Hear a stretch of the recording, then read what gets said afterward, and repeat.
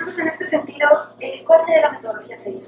Nos habla de un referente bibliográfico, la importancia del marco teórico referencial que justamente nos va a el manejo de los datos, ¿no? Pero, ¿qué hay de la selección de participantes? ¿Qué hacemos con la información? Se habla de que no existe una hipótesis al inicio, sino que se construye. ¿Cuál sería el proceso a seguir para hacer una investigación cualitativa? Bueno, mira, este, lo primero que tenemos que plantear en cualquier investigación es nuestra pregunta. Y la pregunta es fundamental porque la pregunta que quiero contestar me dice va a ser cuándo o me dice va a ser cuándo. Por ahí empezamos. Y entonces seleccionamos en ese momento el marco referencial en términos generales la mayoría de las veces es la figura, pero no podemos descartar que haber otros. Y luego tenemos que hacer un marco bibliográfico.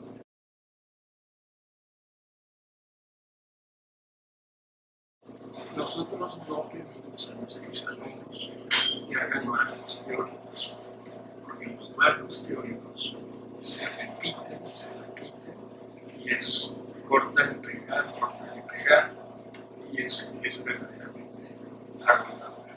Pero en cambio, el marco bibliográfico, el estado actual del conocimiento, es fundamental que eh, se siga paso a paso y que esto nos da un mayor rigor. Y el segundo aspecto del rigor es no interpretar, no modificar los datos originales.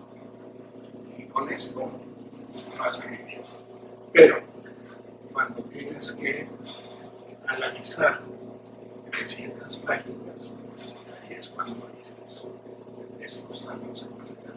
Sí, por supuesto, porque como dices, es una gran cantidad de datos por las técnicas que utilizan, ¿no? Sí, sí, porque además, bueno, cuando yo contesto un cuestionario cuántico, lo que dicen.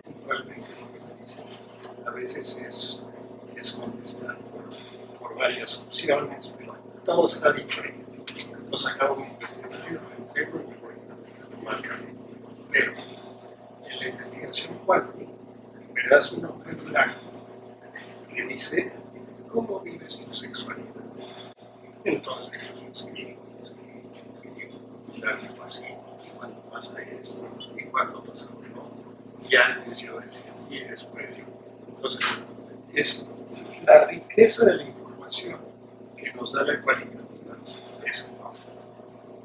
Y después, ¿cómo analizar todos esos datos? Ese mundo de información, ¿cómo lo vamos dando ese sentido o ese eh, significado a los datos? Y es cuando muchos de nuestros alumnos que escogían un método cuálico este, se quiebran.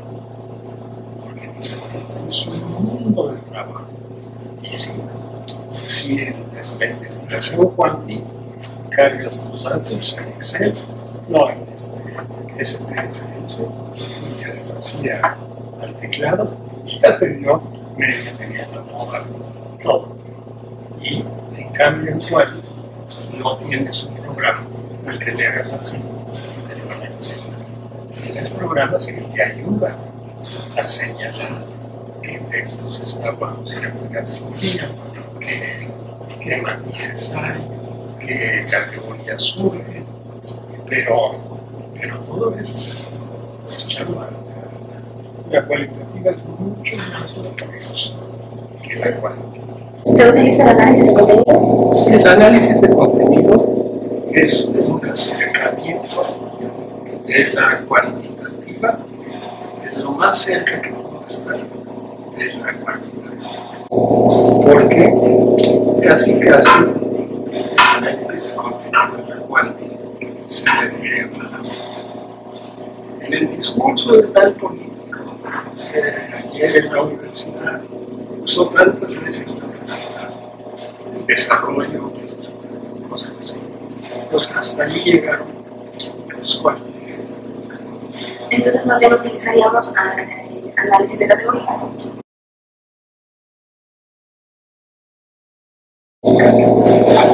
¿Qué textos voy yo marcando como predominantes? Y esos textos yo decido que los agrupo, no que los interpreto, los agrupo en una categoría o en otra categoría y así los vamos. Y entonces ya que se crean las categorías, me regreso al marco interpretativo y le doy un, un sentido a la información. Sí, exactamente. Las conclusiones también se derivan de, ese marco. Bueno, las, las conclusiones en realidad contrastan con lo que tú encontraste en el marco. Y entonces de ahí te vas a tu. ¿Cómo decidir si eh, lo del número de participantes fue adecuado? a los participantes. Mira, lo fundamental en la investigación cualitativa es la selección de las características de los participantes, no el número, no hay una muestra, pero sí es importante, por ejemplo, si yo voy a explorar, si estoy en mercadotecnia, la más llamativa para un jugo de fruta en los anaqueles del supermercado. Bueno, necesito no ser primero prejuzgador y no decir traigan a mujeres, ¿no? porque representa un super. Y hay mujeres que no al super, que usan el teléfono o que tienen el supermercado. Entonces, ¿cuál es la característica de estos participantes? Que vayan al super.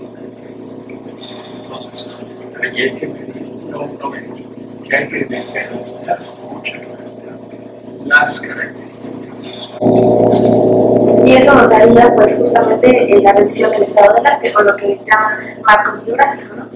El marco bibliográfico es qué se sabe sobre este tema que que han investigado en Australia, en Inglaterra, en, México, pero a lo mejor no en Toluca, y si lo han hecho en Pachuca, o si lo han hecho en Mérida.